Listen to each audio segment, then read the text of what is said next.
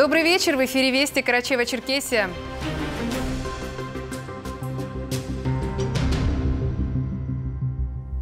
Сегодня в ночь православные верующие отмечают Рождество. С праздником жителей поздравляет глава Карачева-Черкесии Рашид Тимрезов. Это один из главных христианских праздников. В это время верующие всего мира вспоминают события, случившиеся в Вифлееме более двух тысяч лет назад празднованию Рождества православные верующие готовили себя 40-дневным постом, который завершается после праздничного богослужения уже этой ночью. Старались совершать больше добрых дел, воздерживались от некоторых видов пищи и чаще посещали церковные службы, вспоминая события евангельской истории. О традиции праздновать Рождество, смысле и значении праздника нам рассказал благочинный православных приходов Северного округа Пятигорской и Черкесской епархии Александр Нартов. Празднуем э, великий праздник Рождества Христова. Это один из главных праздников христиан.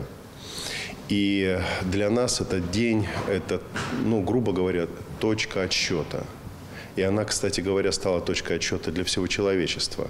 Мы празднуем года 2022, 2023, и э, хоть они и называются сейчас э, новой эры, но эту эру мы знаем, с кого она началась. Она началась с рождения Иисуса Христа.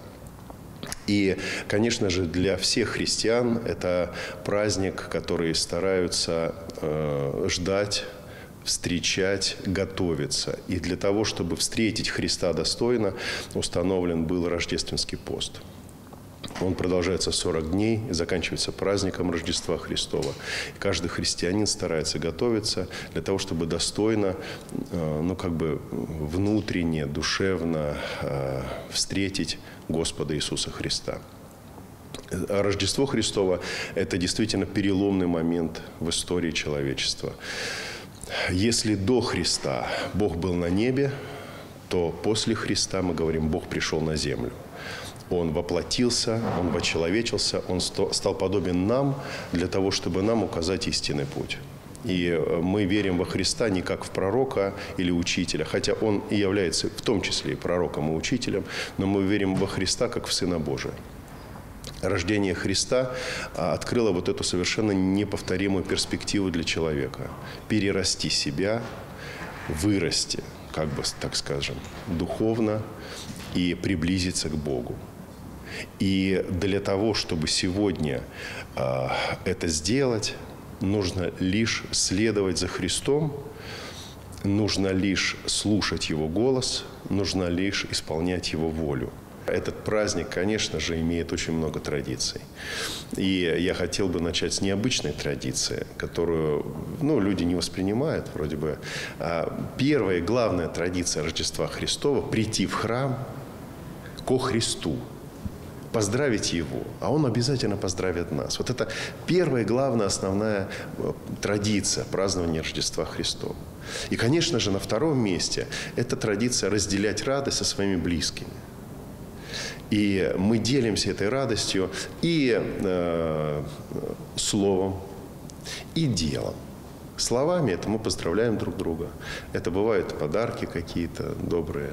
И, э, конечно, делом это обычно, ну, бывает хорошее, доброе застолье с друзьями, с родственниками, с родными, с детьми, с внуками. И это вот две таких, ну, как бы сказать, два столпа на которых стоит ну, традиция празднования Рождества Христова. Все остальное, конечно, идет э, параллельно этому. Ну, например, елка уже давным-давно кто-то рассказал, говорит, елка – это прообраз э, райского дерева, а игрушки на ней – это прообраз э, вот, э, вот этих плодов, которыми люди питались и жили вечно.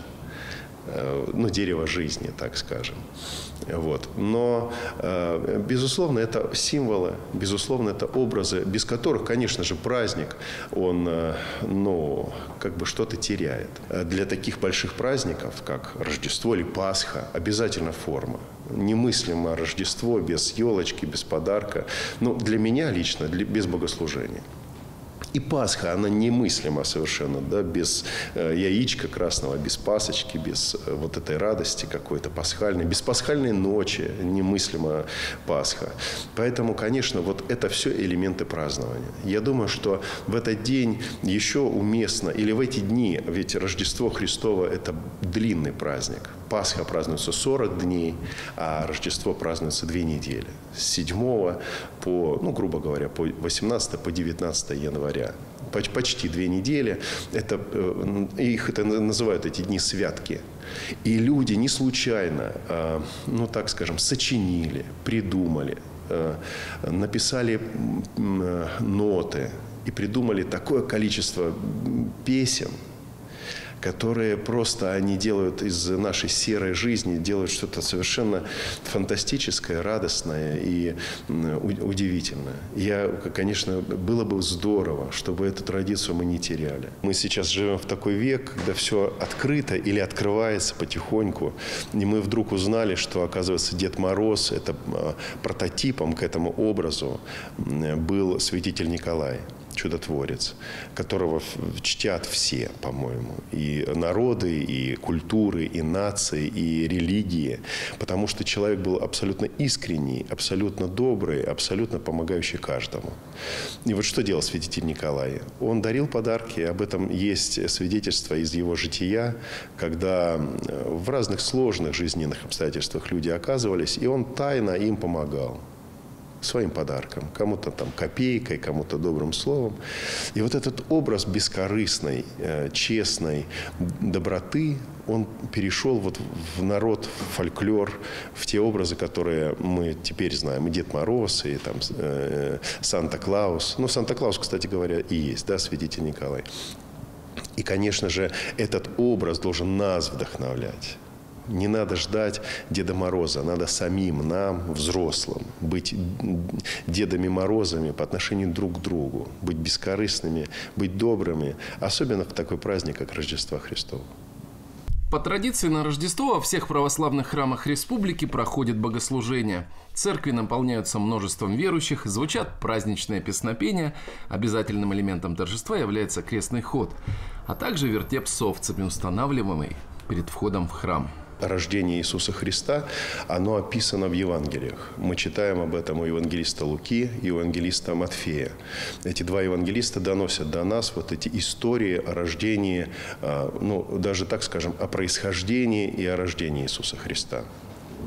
И э, все описанные события, они получили свое, э, э, ну как бы скажем, э, они были э, не только описаны в словах, но они были написаны на иконах. И, э, конечно же, каждый христианин, пришедший на праздник, он может подойти к иконе Рождества Христова, и надо ее рассмотреть. И когда мы ее рассматриваем, мы видим, э, что события, даже отдаленные по времени, э, это пришествие волхвов или поклонение пастухов, они все изображены, изображены в одной плоскости, на одной иконе. И вот для нас э, икона Рождества – это есть Евангелие в красках, то есть описанные события рождения Христа, они все помещены на иконе. После Рождества стало возможным изображать Бога на иконах, гласит церковное предание. Кроме традиционного изображения распятия на кресте, часто Христа на иконах можно увидеть как младенца на руках у Богоматери. Бог явился действительно не как грозный Зевс, да, с молниями, а явился как младенец сначала, а потом, более того, отдал себя в руки людей, которые его распяли, ну, правда, Господь победил, да, воскрес из мертвых. Так вот, э, это интересная особенность э, э, того пути, который Бог хотел нам открыть. Иудеи ждали Спасителя всю свою историю, вплоть до Христа, да и до сегодня иудеи, иудейская религия ждет Спасителя, Мессию. И Мессия пришел, и христиане увидели, узнали – в младенце Иисусе, в будущем Иисусе, в проповеднике Иисусе узнали того самого Мессию, которого все ждали. Но нужно было совершить подвиг, и этот подвиг был совершен людьми. Подвиг принятия Христа таким, каким он захотел быть не таким, каким я хочу его видеть, а каким он сам захотел быть для нас. И вот иудеи ждали действительно лидера, политического лидера, который э, возглавит восстание, который освободит Иудею от римской оккупации и который поведет весь народ израильский в светлое будущее, обеспечит его как бы главенство, что ли, в том мире, в котором они находились, люди античные, или вообще во всем мире э, как бы вот осуществит мировое господство. Но Господь с первых шагов и мы знаем это из Евангелия, когда Господа искушает сатана в пустыне. Он предлагает ему быть хозяином мира. А почему сатана предлагает? Потому что он сам князь этого мира. И вот Господь от, от, отвергает это предложение, он отказывается быть хозяином мира. И э, неоднократно говорит, мое царство не от этого мира. И э, вот его сила, как раз Божия, она заключалась в так называемой ну, слабости, э, в так называемом снисхождении к нам. Бог не нуждается э, в том, чтобы мы признавали Его величие. Он велик сам по себе. Бог нуждается в том, чтобы мы увидели Его близость к нам. Если бы Он был слишком велик – и хотел бы таким быть, нам бы до него не добраться. Потому что мы люди. Мы с вами, вот, глядя на себя, скажем, Господи, я, я слабый человек.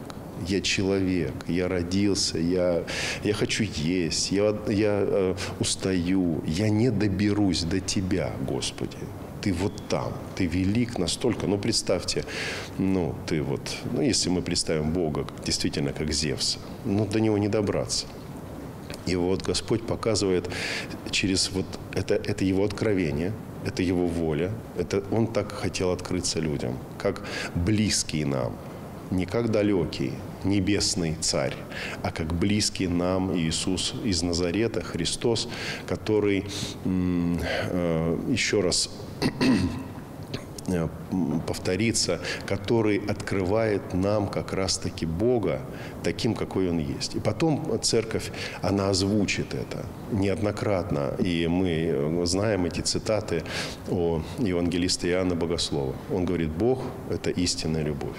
Бог есть истинная любовь.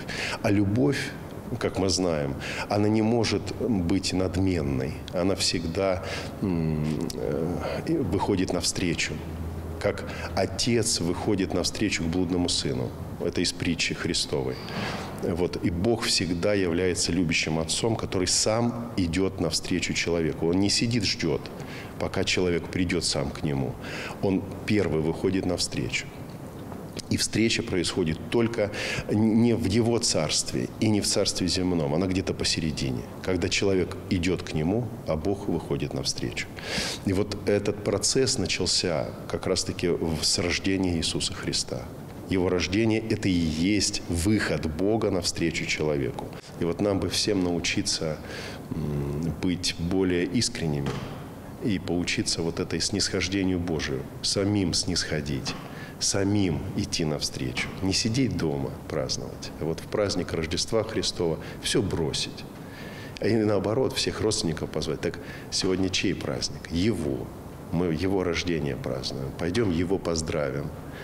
Прийти в храм и помолиться. И помолиться за близких своих, за живых, за усопших. Это настолько важно.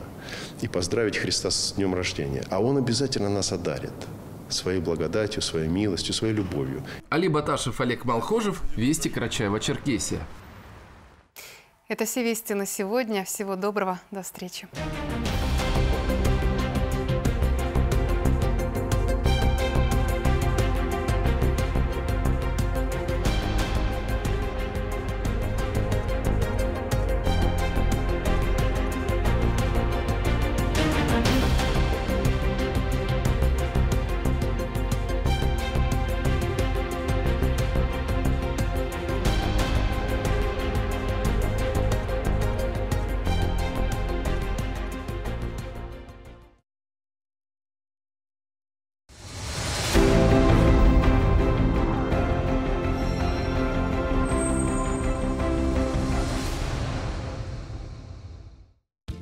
Впереди мы расскажем вам подробно. Разобраться в них несложно, важно, честно и удобно. Что такое бюллетень?